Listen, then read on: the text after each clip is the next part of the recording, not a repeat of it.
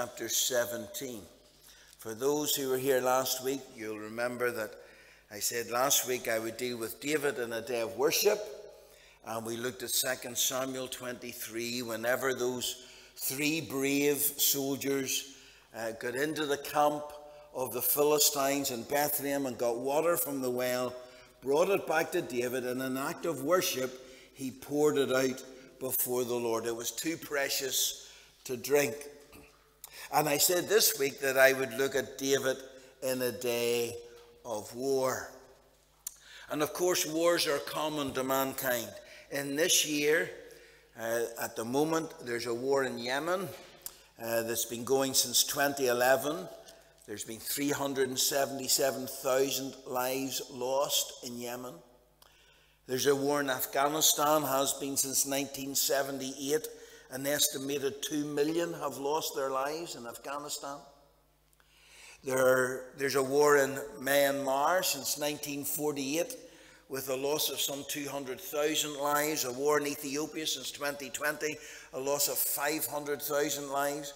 We could talk about the Somali civil war, Syrian war, South Sudan, Iraq, the Colombian drug war, the Mexican drug war, Bosnia, Rwanda, I think an estimated 22 wars going on at the moment. And of course, on the 24th of February past, Russia invaded Ukraine. And we watch our television screens as refugees, uh, refugees stream across Europe. The last I saw the figures, it was about 25,000 loss of life and about 10 million people displaced. So we come to a battle. We come to a battle, and in fact, it's David's first conflict, one of the best known passages in all of our Old Testament. We remember this from Sunday school days. 1 Samuel 17, starting to read at verse 17. And Jesse said unto David his son, Take now for thy brethren an ephah of this parched corn and these ten loaves, and run to the camp of thy to the camp to thy brethren, and carry these ten cheeses unto the captain of uh, their thousand, and look how thy brethren fare, and take their pledge. Now Saul and they and all the men of Israel were in the valley of Elah fighting with the Philistines. And David rose up early in the morning and left his sheep with a keeper and took and went as Jesse had commanded him. And he came to the trench as the host was going forth to the fight and shouted for the battle. For Israel and the Philistines had put the battle in array, army against army. And David left his carriage in the hand of the keeper of the carriage and ran into the army and came and saluted his brethren. And as he talked with them, behold, there came up the champion, the Philistine of Gath, Goliath by name, out of the armies of the Philistines, and spake according to the same words. And David heard them. And all the men of Israel, when they saw the man, fled from him and were sore afraid. And the men of Israel said, Have ye seen this man that has come up? Surely to defy Israel is he come up. And it shall be that the man who killeth him, the king will enrich him with great riches, riches and give him his daughter and make his father's house free in Israel. And David spake to the men that stood by him, saying, What shall be done to the man that killeth the Philistine and taketh away the reproach from Israel? For who is this uncircumcised Philistine that he should defy the armies of the living God? And the people answered him after this manner, saying, So shall it be done to the man that killeth him. And Eliab, the, his eldest brother, heard when he spake unto the men. And Eliab's anger was kindled against David, and he said, Why hast thou come hither? Come down hither.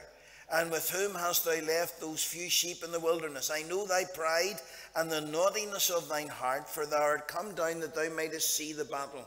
And David said, What have I now done? Is there not a cause? And amen. Let's pray together. Our Father, we have your word open before us, and we know that it is profitable for education, for inspiration, and for devotion. And Father, we pray that as we come to this text, that not only will we come and increase our faith in Thee, but that we might grow in our faith of Thee and our likeness to Thee.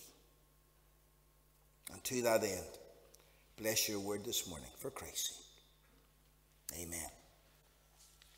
Well, I said it's familiar words, and you all know the story of David and Goliath. Picture the scene Goliath stands about 10 foot tall. Verse 4 tells us that he was six cubits in a span, about three meters, so about 10 foot tall. His armour weighed over 10 stone, some 63 and a half kilograms. He had a massive sword. He shouts his defiance over the valley of Elah. Now, this was a brilliant suggestion. I don't know if Goliath came up with it, but somebody came up with a brilliant suggestion because up to this point, the armies were in two sides of a valley the trumpet sounded and they ran towards each other and it was hand to hand combat and there was thousands lost their lives widows left at home children with no fathers on both sides this was a tragedy about to happen but somebody come up with the idea no let's just have one man die you pick your best we'll pick our best we'll meet in the middle whoever wins they win the day this was a brilliant suggestion. And the army of Israel couldn't pick their best. It should have been Saul. He was head and shoulders above all the army in Israel. It should have been Saul saying, Man, I will lead by example. I will go. You stand there. I'll fight the giant. But Saul wasn't going. Maybe Eliab should have gone. Strapping big man. He didn't want to go. And at periods of time, this giant of the Philistines, this giant of Gath, Goliath by name, strode, forth from the camp of the Philistines and defied the armies of Israel. And the army of Israel is frightened and embarrassed, and nobody wants to fight the giant. And as I was thinking of our meeting this morning, you know, this scenario is the same today. Satan's giants intimidate us and frighten us and into cowardice. And I could use this text as a sort of springboard. And I could speak about the, the giants of Satan that come to intimidate us. I could talk about the giant of prevailing sin. I could talk about the giant of depression. What a giant that is. I could talk about the giant of doubt and the giant of pain and the giant of bereavement and the giant of pornography and the giant of loneliness and the giant of disobedience and discouragement, the giant of stress, the giant of unemployment. There's hundreds of them. As Satan marches his giants across our land. I'm going to leave all those giants for another day.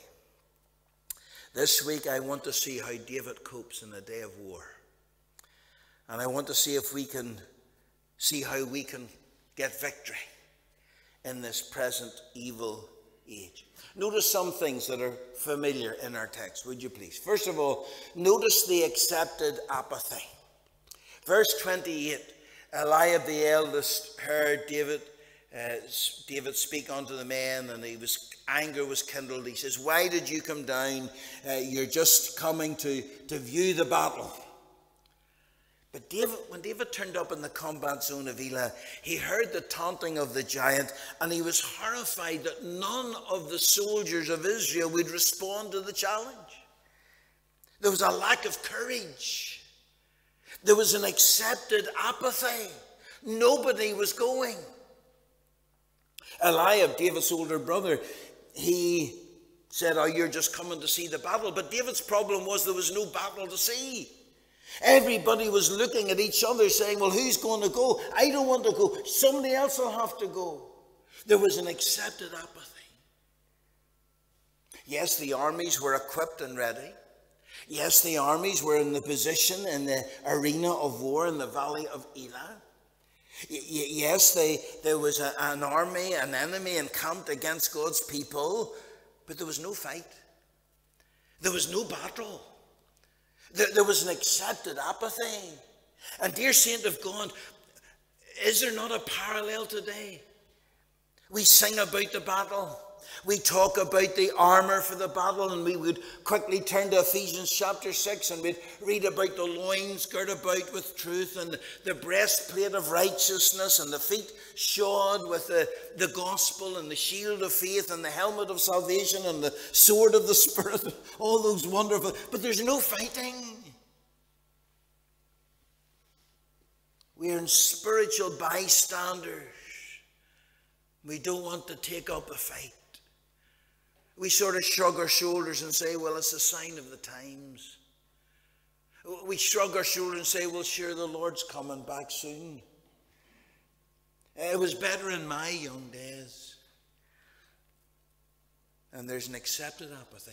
As I move from churches to churches now, not in the one pulpit, I find that there is a casual attitude to holiness and purity. There's a casual attitude to evangelism. There's a casual attitude to personal devotions. There's a casual attitude to the discipline of prayer. And it seems as if we're just going with the flow. And we see the enemy, but nobody wants to fight. I've often used the illustration, maybe I've used it here, forgive me, I can't remember. But I've often used the illustration of going down to the Belfast docks and there, uh, moored in one of the docks, is, is the latest cruise ship, 15 stories high, feat of engineering, maybe eight or nine restaurants on board and swimming pools. And, and people are arriving to get on the cruise ship, and why they're they're so excited and a big smile on their face. They're looking forward to, to maybe 10 days or two weeks of luxury. Just across the harbour, there's a Royal Navy Type 45 destroyer. And the young people arriving to get on the destroyer with their kit bag over their arm. And their mums and dads are there in tears because they're going out to some of the battle ruin areas of the world. They might not come back. They're going out to fight. The mum and dad are hugging them.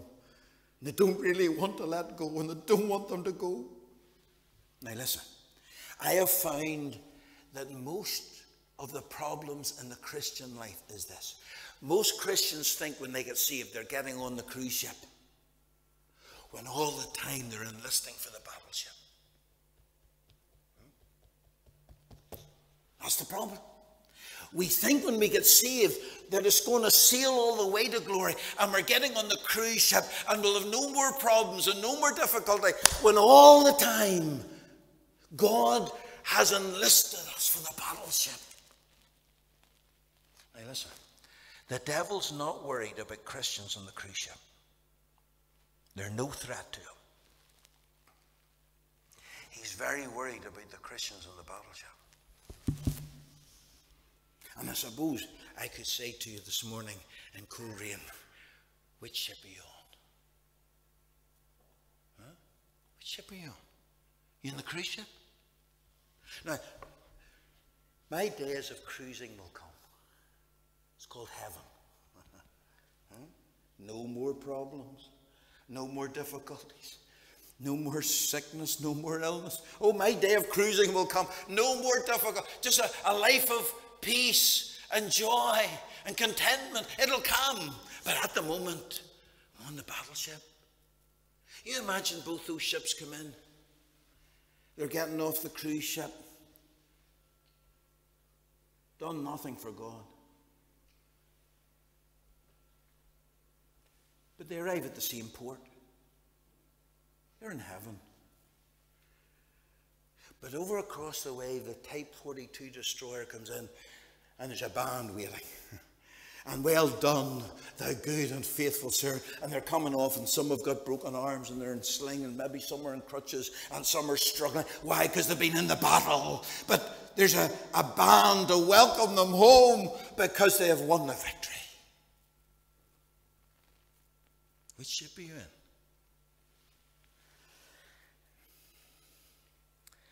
I left the cruise ship. I'm on the battleship.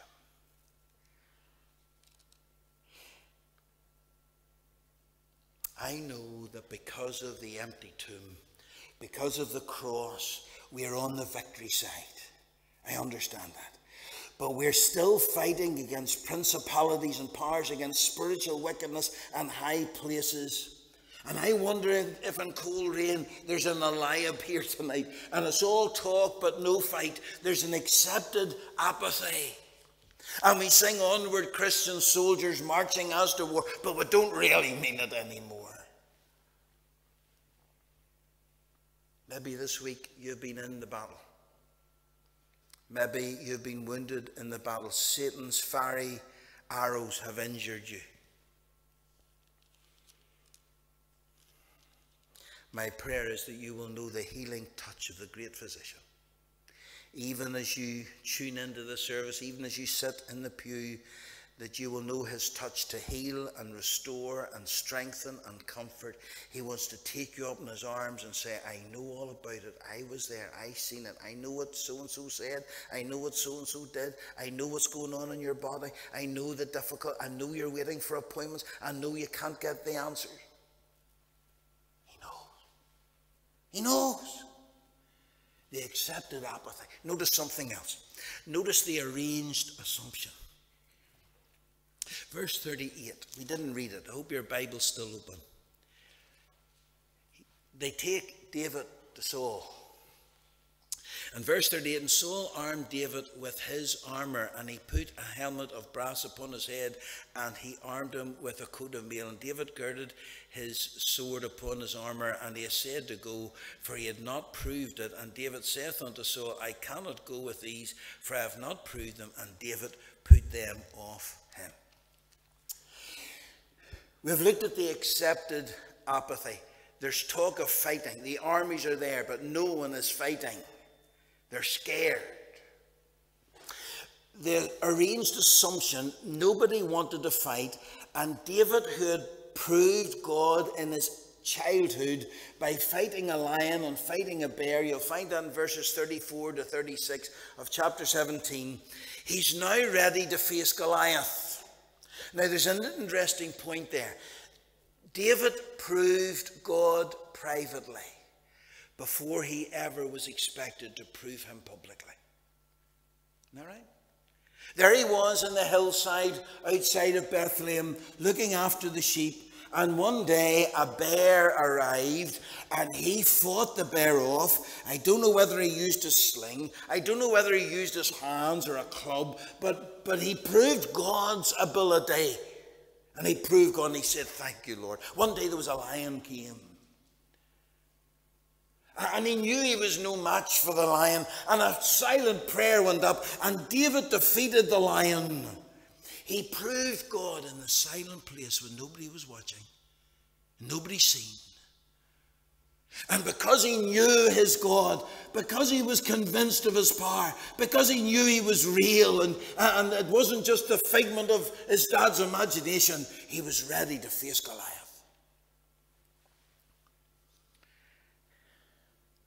That should always be the order. I meet young fellas and they want to be in a pulpit. And that's a great ambition to have. But they've never proved God in the quiet place. They've never proved God in the secret place. They've never proved God on their own before ever they would stand in public. And when they stand in public and the enemy comes in like a flood, they've no roots, they've no foundation.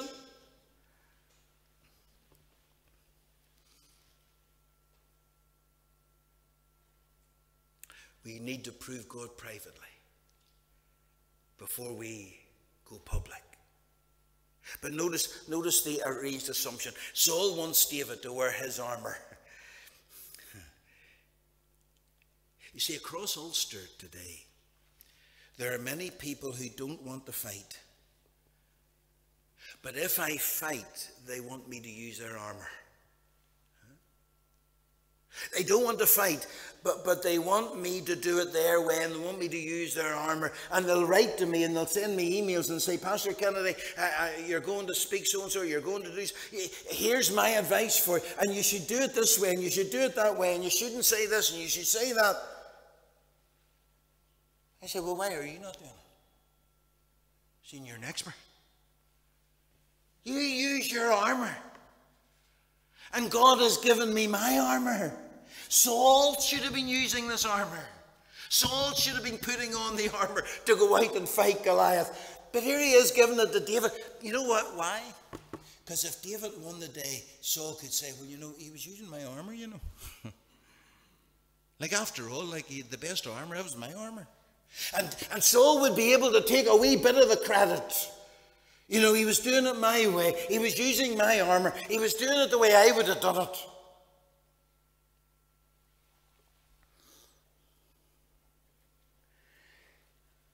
Say this lovingly. If you're not prepared to fight, be very slow to criticize those that are prepared to fight. If you're not prepared to face the enemy, be very slow to criticize someone who is prepared to face the enemy. They mightn't use your armor. They mightn't do it the way you would do it. They mightn't have the same tactics, but just pray that God will give them great success in the battle for God. An arranged, sorry, an accepted apathy. Fight but no fight. All talk. An arranged assumption.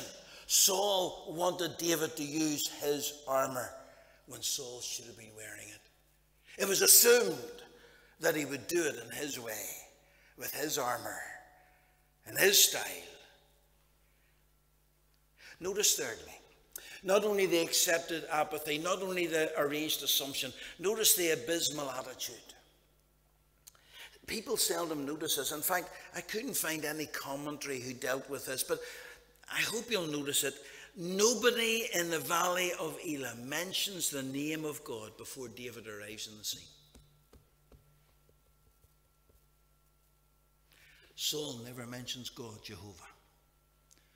Eliab never mentions God, Jehovah. There they are in the middle of the crisis of a battle, and they're not mentioning the name of God. until David arrived. Abysmal attitude.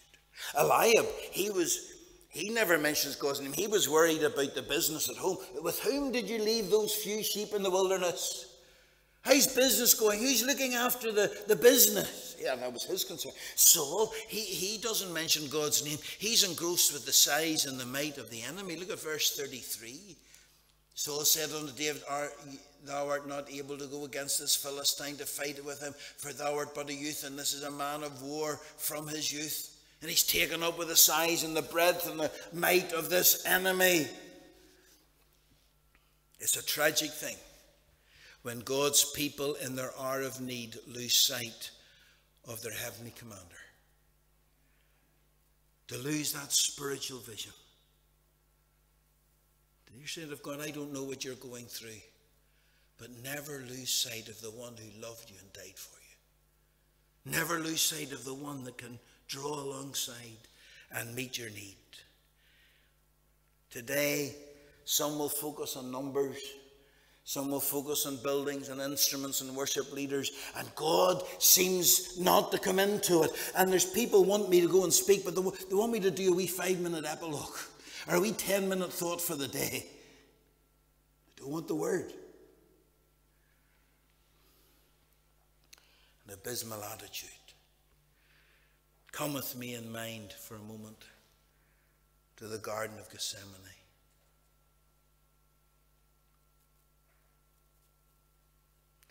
Judas comes in with the soldiers. He says, The one whom I kiss, that's the one. And he steps forward and he, he kisses the Lord and says, Master.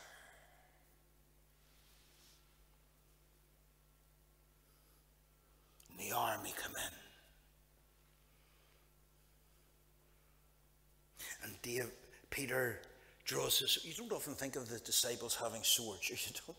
But but peter drew a sword and cut off the ear of the servant of the high priest malchus. The lord says put your sword in your sheath peter. But don't resort to that. Try to view the lash. Watch as pilate washes his hands I am innocent of the blood of this just person. See ye to it. Watch the beatings, the cruelty, the man of sorrows. Travel down the Via Dolorosa, the way of the cross, out to that little hill of Calvary. Gaze on the cross and watch as the Saviour takes the punishment for your sin and mine. I say to you, keep the cross, keep the love of God, the sacrifice of Christ central. It's all about Jesus.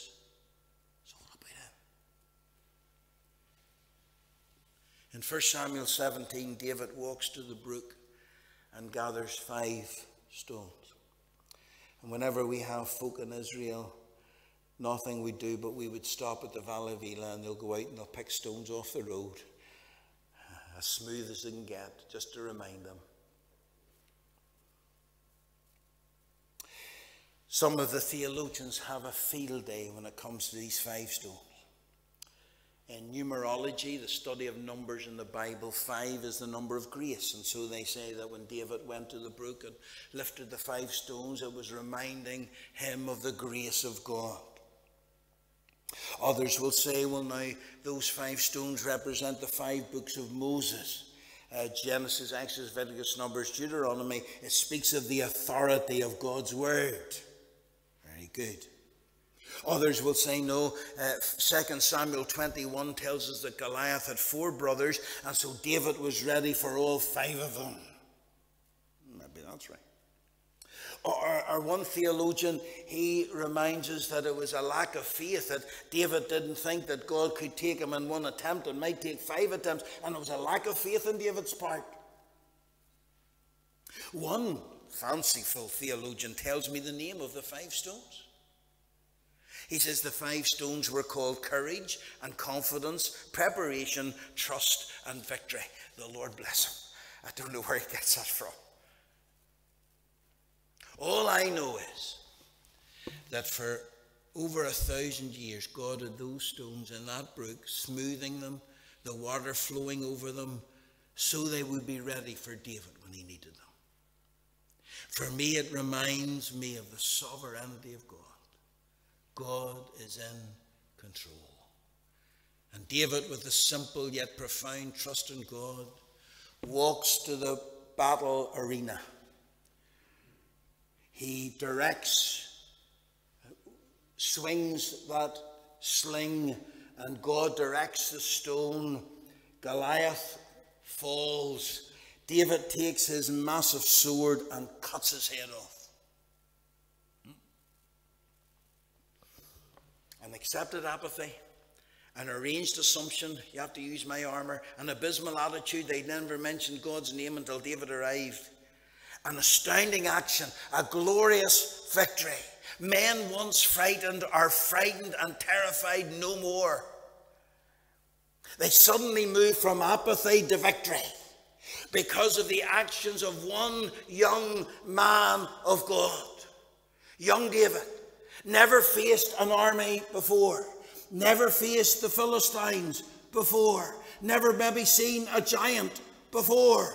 But a young man in the hands of God stepped forward and won the day. An astounding action. One shepherd boy in the hands of God swept in days of revival. Dear friend, could we calculate what we could do harnessed by God? I say to you, today is not the day of petty critics. Today is not the domain of casual bystanders. Stand aside, there's a war on. Souls are dying in sin.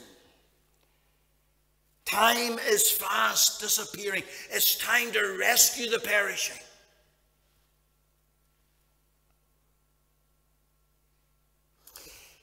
The accepted apathy Talk of battle, but no battle. The arranged assumption you've got to wear my armour to do the fight. The abysmal attitude God's not mentioned until David arrives.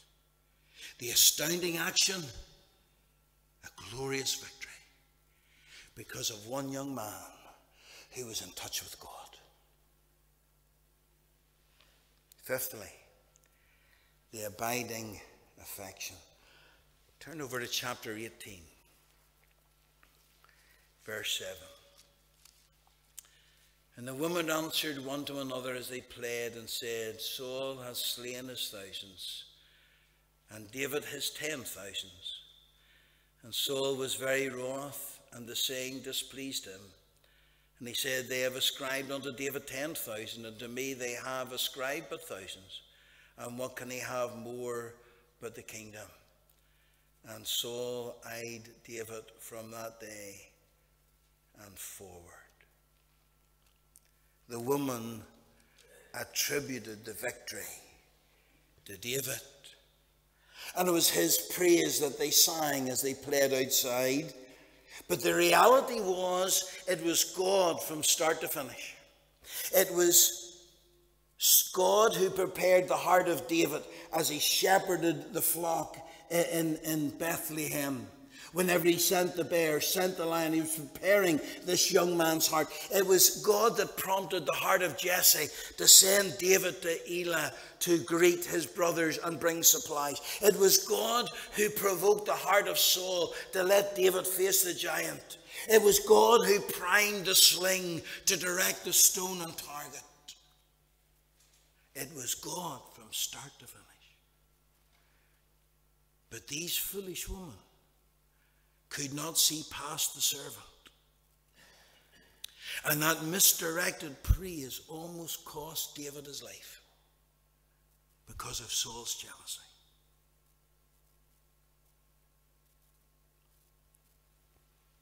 We have a tendency, you know, to put those on the platform up on a pedestal.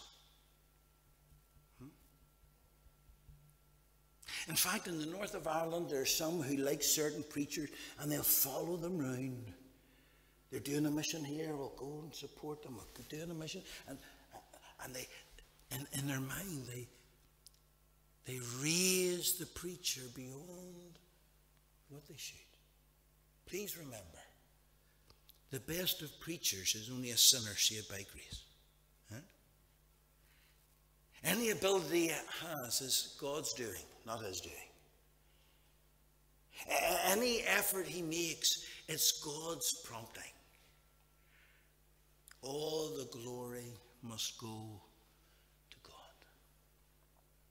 This is Sunday school material. I, am nearly embarrassed bringing it to you this morning. Sunday school. You know this from Sunday school days. But, but as we finish, let's get involved in the fight. Be done with the accepted apathy. Talk, but no fight.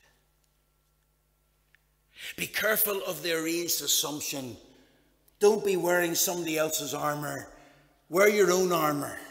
Put on the armour of God so that you can fight. If you have armour you're not using, start to use it. Uh, be aware of the abysmal attitude.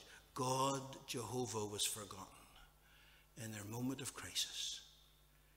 Be thankful for the astounding action one young man of God brought in revival. And be conscious of the abiding affection. Make sure that all glory goes to the Lord, for he alone is worthy. May God bless his word to our hearts this morning. We're